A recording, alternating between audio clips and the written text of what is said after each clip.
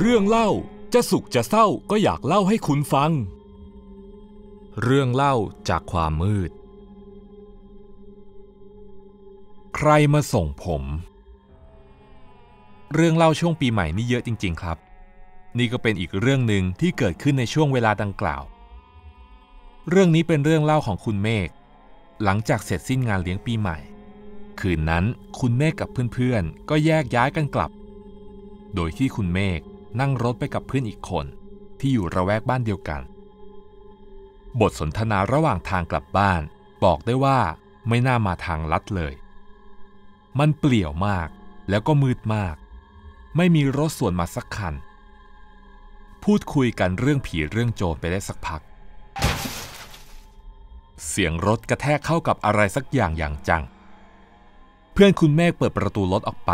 แล้วพูดว่า เฮ้ย ออกมาดูนี่เร็ว เสียงเพื่อนเรียกด้วยความตกใจ นกตัวใหญ่ ขนสีน้ำตาล ตากลม มันจ้องมาที่หน้าพวกคุณเมฆ เพราะมันคอหัก หัวจึงหันไปคนละทิศละทางกับตัว เป็นภาพที่น่ากลัวและยังติดตามมาจนถึงทุกวันนี้ คุณแม่กับเพื่อนคุยกันว่าจะเอานกตัวนี้ออกจากหน้ารถยังไงดี ถ้ายังมีนกติดรถอยู่แบบนี้ คงไม่กล้าขับ อาจจะต้องหาที่นอนกันแถวนี้ พูดเสร็จคุณเมฆก็เดินไปที่เก็บอุปกรณ์ที่เบาะด้านหลัง ว่าจะหาอะไรมางัดนกออกไป ใช้เวลาสักพัก คุณเมฆก็ควานหาอุปกรณ์บางอย่างเจอ แล้วก็หยิบออกมา พร้อมกับสายตาที่มองออกไปยังถนนด้านหลังของรถ คุณเมฆจ้องมองอะไรสักอย่างที่กำลังเคลื่อนที่เข้ามา ถึงจะมองไม่ชัด แต่รู้สึกได้ว่า มีใครสักคนที่กำลังก้าวเข้ามาใกล้ๆแวบแรก คุณเมฆคิดว่าต้องเป็นโจรแน่ๆจึงรีบเดินไปหาเพื่อนที่ด้านหน้ารถ เฮ้ย มึง ข้าง เฮ้ย เพื่อนที่คิดว่าอยู่ตรงนั้นกลับหายไป เหลืออยู่แต่ความว่างเปล่า แม้แต่นกที่ติดอยู่ตรงหน้ารถก็หายไปด้วย กลายเป็นว่าเหลือคุณเมฆเพียงแค่คนเดียวบนถนน พร้อมความรู้สึกหวาดระแวงว่าจะมีใครเข้ามา มีบางอย่างเกิดขึ้น จนต้องหันขวับไปที่ต้นเสียง คุณเมฆเดินตรงไปที่พุ่มไม้ที่มีโพรงอยู่ เปิดไฟฉายในมือถือ แล้วก็ส่องลอดโพรงเข้าไป เห็นตุ๊กตาหุ่นตัวเล็กๆ ลักษณะเหมือนนางรำถูกวางอยู่รวมกันประมาณหนึ่ง บางตัวก็ล้ม บางตัวไม่สมบูรณ์ คุณเมฆนั่งยองๆ โดยอัตโนมัติ และเตรียมที่จะยื่นมือเข้าไป เงาจากแสงไฟฉายในมือถือทำให้เกิดเงาของมือของคุณเมฆ อันนี้ไม่น่าแปลกใจ แต่มีเงาที่ค่อยๆ เกิดขึ้นอยู่ข้างๆ คุณเมฆไม่สามารถอธิบายได้ เงานั้นค่อยๆ เคลื่อนเข้ามาจากด้านหลัง คุณเมฆไม่กล้าที่จะหันไปมอง พยายามเอียงคอนิดๆ แล้วใช้ห่างตามองออกไป เฮ้ยคุณเมฆถูกกระชากจากด้านหลัง จนก้นกระแทกพื้น ด้วยความตกใจเมื่อหันไปมองก็ไม่มีใครคุณเมฆรีบลุกขึ้น แล้วหยิบท่อนไม้ท่อนหนึ่งไว้ในกำมือ แล้วก็ค่อยๆเดินไปที่รถ ในใจก็คิดว่า มันไปไหนแล้ววะ กระทั่งเดินมาถึงหน้ารถ ส่องไฟฉายลอดเข้าไปในรถคุณเมฆก็ต้องอุทานออกมาอีกครั้งหนึ่ง ด้วยความตกใจ เมื่อเห็นเพื่อนนั่งอยู่ตรงเบาะคนขับ คุณเมฆดีใจที่เห็นเพื่อนกลับมา จึงรีบเปิดประตูเข้าไป ซักถามด้วยความเป็นห่วงโหมึงไปไหนมาวะ ให้กูหาอยู่ตั้งนาน แววตาของเพื่อนคุณเมฆนิ่งและมองตรงไปข้างหน้าคำตอบที่ได้มา คือมันใส่หัวสองทีคล้ายจะบอกว่าไม่ได้ไปไหน คุณเมฆกำลังจะบ่นต่อ แต่เพื่อนคุณเมฆก้มหน้ามองลงไปที่พวงมาลัยและพูดว่า ไปกันเถอะ ด้วยความเป็นห่วงเพื่อน คุณเมฆเลยบอกว่า ถ้าไม่ไหวให้ไปพักก่อนได้นะ กูไหว เสียงที่ตอบกลับมาทำให้คุณเมฆถึงกับสะดุ้งเฮือก เพราะเพื่อนหันมาด้วยความรวดเร็ว สีหน้าและแววตาดูหงุดหงิดมาก ตาจ้องมาที่คุณเมฆเป็นสายตาที่ไม่เคยเกิดขึ้นมาก่อน จนคุณเมฆเริ่มรู้สึกว่า มีบางอย่างเกิดขึ้นกับเพื่อนแน่ๆออเออเออเอโอเค ถ้าไม่ไหวก็บอกกูนะ ระหว่างทางที่เพื่อนขับไป คล้ายกับคนชินเส้นทางสายนี้ รถหยุดลง เอาจะจอดทำไมอะ มึงอยากจะพักก่อนเนาะคุณเมฆถามด้วยความเป็นห่วง เปล่า เสียงเงียบไปสักพัก กูจอดส่งคนคำตอบที่แสนจะธรรมดา มันทำให้คุณเมฆรู้สึกเย็นเยือก และขนลุกไปทั่วทั้งตัว คุณเมฆเริ่มกลัว และไม่แน่ใจแล้วว่าคนตรงหน้าคือเพื่อนจริงหรือไม่ ถึงแม้หน้าตามันคือเพื่อนของคุณเมฆชัดๆ แต่ที่ต่างไปคือความรู้สึกที่แสดงออกมา ต่อไปก็เป็นบ้านมึงแล้วสินะ เพื่อนเอ่ยขึ้น คุณเมฆจ้องมองที่เพื่อนตลอดทาง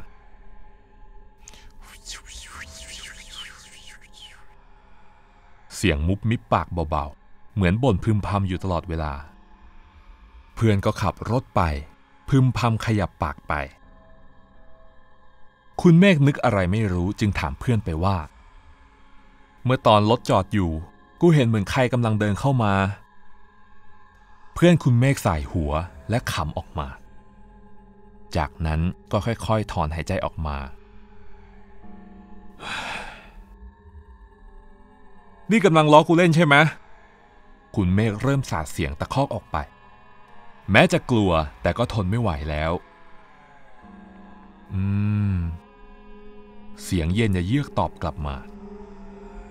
การเดินทางที่ดูยาวไกล นานแสนนาน แต่อันที่จริงอีกนิดเดียวก็จะถึงบ้านของคุณเมฆแล้วแล้วจู่ๆ เสียงชิงฉับ เสียงซอ เสียงดนตรีไทยก็ดังขึ้นมาในวิทยุ เพื่อนคุณเมฆโยกตัวไปพร้อมกับเสียงเพลง และเสียงฮัมอยู่ในลำคอ เป็นไปไม่ได้เลย ที่เพื่อนคุณเมฆจะชอบเสียงดนตรีไทย คุณเมฆเลยเอื้อมมือจะไปปิดวิทยุ โอ้ย คุณเมฆร้องขึ้นพอเพื่อนคว้ามือไว้ทันที จะทำอะไร อย่ามายุ่งกับกู ตาของเพื่อนมีสีแดงออกมา มันตะคอกดังไปทั่วทั้งรถ คุณแม่ก็กลัวจนตัวสั่น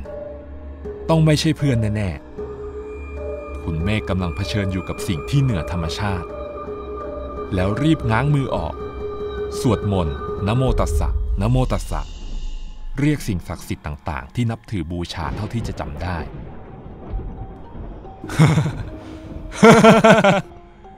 คิดเหรอว่ากูจะกลัว มันพูดแล้วก็คำออกมา คุณเมฆฮึดสู้ ยกมือไหว้พระในบ้านที่นับถือ โอ้ย มันร้องและเงียบไป แต่สายตายังคงจ้องไปที่ถนนเพื่อขับรถต่อไป แสงไฟสีส้มข้างหน้า อีกไม่ไกล สาดส่องอยู่บนถนน บ่งบอกว่าอีกไม่นานก็จะถึงบ้านของคุณเมฆแล้ว แต่ก่อนจะถึงตรงนั้น จะต้องวิ่งผ่านปากทางเข้าวัด เมื่อรถเคลื่อนไป ความเร็วของรถก็ค่อยๆ ลดลง ทั้งที่มีรถเพียงแค่คันเดียวบนถนน และแล้วก็ถึงหน้าวัด เป็นไปตามคาด รถจอดนิ่ง คุณเมฆไม่กล้าที่จะมองไปที่เพื่อน วัดที่เงียบสงัดผสานกับเสียงหมาหอน ช่างช่วยเพิ่มความหลอนขึ้นไปอีก ถึงจะไม่กล้าจ้องเพื่อน แต่ก็แอบชำเลืองมอง เฮ้ยทำไรวะ คุณเมฆอุทานในใจ พื่อนคนนั้น เอามือจับริมฝีปากล่าง แล้วก็ดึงลงมาจนเห็นฟันล่าง แถมตายังชำเลืองมองที่คุณเมฆพอมาถึงตรงนี้คงอยู่ไม่ได้แล้ว คุณเมฆรีบเปิดประตูออกไป แล้วรีบลงจากรถหมาบริเวณนั้น พอได้กลิ่นมันก็กรูกันเข้ามา คุณเมฆค่อย ๆ เดินเข้าไปในวัด ทิ้งเพื่อนกับรถไว้ข้างหลัง หลวงพี่รูปหนึ่งเดินออกมาจากกุฏิเพราะคงได้ยินเสียงคุณเมฆตวาดสุนัข จะไปไหนเหรอโยม ดึกดึกดื่นดื่นคุณเมฆยกมือไหว้ ผมโดนผีหลอกครับหลวงพี่ หลวงพี่ชะงัก แล้วก็เหลือบมองไปทางด้านหลัง แล้วนั่นรถโยมเหรอ ที่จอดอยู่น่ะ เพื่อนกำลังเดินลงมานู่นน่ะ คุณเมฆถึงกับสะอึก พร้อมกับย้ำถามไปฮะอะไรนะครับ เพื่อนผมกำลังเดินลงมาเหรอ สิ้นเสียงคุณเมฆตัดสินใจหันกลับไปมอง เพื่อนก็มาอยู่ตรงหน้าเสียแล้ว คุณเมฆจึงวิ่งไปอยู่ด้านหลังของหลวงพี่ด้วยความรวดเร็วใจเย็นๆโยม หลวงพี่กล่าว หน้าแปลกที่เพื่อนก็ดูปกติดีเมื่อยืนอยู่หน้าพระ มีอะไรจะคุยกับอาตมาหรือเปล่า เพื่อนของคุณเมฆพนมมือแล้วร้องไห้ออกมา พูดซ้ำๆกับร้องไห้ จนหลวงพี่ต้องแทรกเสียงขึ้น หยุดหรือยัง ลงเสียเถิดโยม เลิกอาฆาตได้แล้ว นี่ก็ผ่านมาหลายปีแล้ว พอได้แล้ว หลวงพี่ก็คงช่วยได้เท่านี้ บทสนทนาที่คุณเมฆได้ยินชวนให้คิดว่า คนเราเพิ่งเจอกัน แต่คุยเหมือนรู้จักกันมานาน แสดงว่าสองคนนี้ต้องไม่ธรรมดาแน่ ๆ คุณเมฆพงาออกไปนิดหนึ่งแล้วถามหลวงพี่ว่า หลวงพี่รู้จักกันมาก่อนเหรอครับ คุณเมฆถามเพราะสงสัยมาก ความกลัวที่มีอยู่หายไปอัตโนมัติ หลวงพี่ก็หันมามอง สบตาเหมือนสื่อให้รู้ ไม่ได้ทำผมไม่ได้ทำมันตั้งหาก เพื่อนพูดแล้วก็ชี้มาที่คุณเมฆตาจ้องเขม็ง คุณเมฆจึงรีบละสายตาแล้วจับชายจีวร หลวงพี่มันชี้มาที่ผมทำไมครับ พวกโยมคงมีชะตาร่วมกัน คงไปทำอะไรที่เกี่ยวข้องกันไว้ ยิ่งเพื่อนโยมเนี่ยโดนหนักเลยทำอะไร คุณเมฆนึกย้อนกลับไป หรือว่าเป็นเหตุการณ์ที่ชนนกตาย เพราะมันมีเหตุการณ์เดียวที่น่าจะเป็นไปได้ที่สุด หยุดเถิด แล้วหลวงพี่ก็หยิบอะไรบางอย่างออกมา ท่านกำไว้ในมือก่อนจะค่อยๆ ส่งให้เพื่อนคุณเมฆเพื่อนก็ค่อย ๆ แบมือออก เหมือนกำลังจะรับสิ่งที่ผ่าให้ ถึงเวลาที่โยมต้องเอามันไปแล้ว เป็นก้อนขี้เถ้า ขนาดเหรียญสิบถูกวางอยู่บนมือ เพื่อนคุณเมฆร้องไห้ออกมาหนักมาก ผมไม่ผิดจริง ๆ โยมได้ชดใช้มาหมดแล้วถึงเวลาแล้วนะ เพื่อนคุณเมฆก็ค่อย ๆ ก้มกราบลงสามที จากนั้นก็ฟุบลงไป หลวงพี่เพื่อนผมเป็นอะไรหรอครับ